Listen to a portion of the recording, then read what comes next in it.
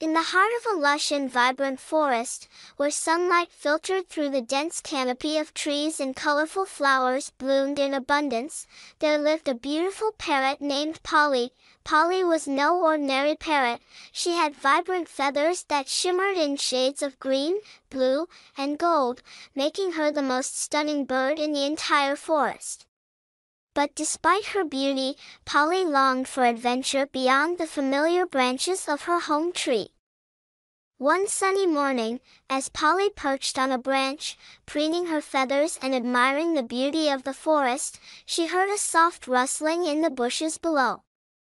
Curious, she fluttered down to investigate and discovered a hidden path winding its way through the undergrowth. With a thrill of excitement, Polly spread her wings and took flight, following the path deeper into the heart of the forest.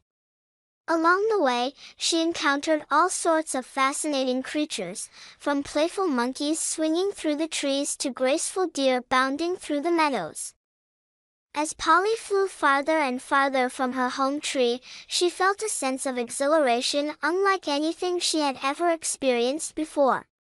The forest seemed to come alive around her, with every leaf and blade of grass whispering tales of adventure and discovery.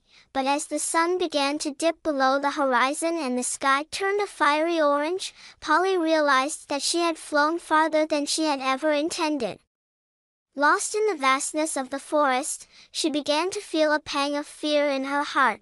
Just when it seemed like all hope was lost, Polly heard a familiar voice calling out to her from above.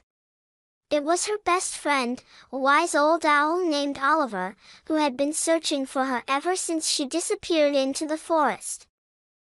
With Oliver's help, Polly found her way back to her home tree, her heart filled with gratitude for her faithful friend and the incredible adventure she had experienced.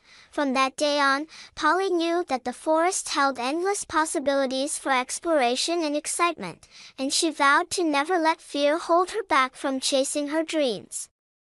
And as she nestled into her cozy nest for the night, surrounded by the comforting sounds of the forest, she knew that her next adventure was just around the corner.